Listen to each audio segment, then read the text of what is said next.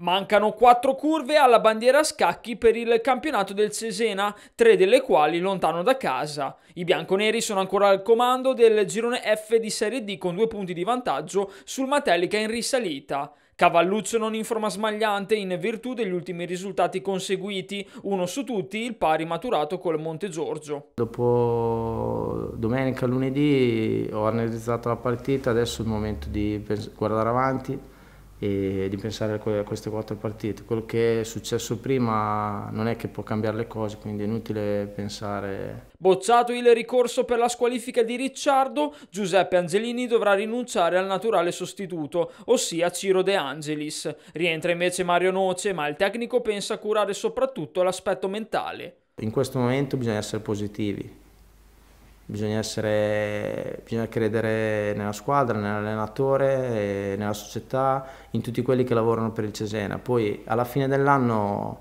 ognuno dirà, eh, dirà quello che deve dire. Il cavalluccio arriva quindi a Vasto con alcuni dubbi. Una certezza però c'è, di fronte compare una Vastese agguerrita e in salute. Giocano 5-3-1-1, hanno giocato le ultime partite e hanno fatto le ultime tre partite, hanno fatto tre vittorie e si sono tirati fuori dalla zona, dalla zona calda e probabilmente che con noi giocheranno così.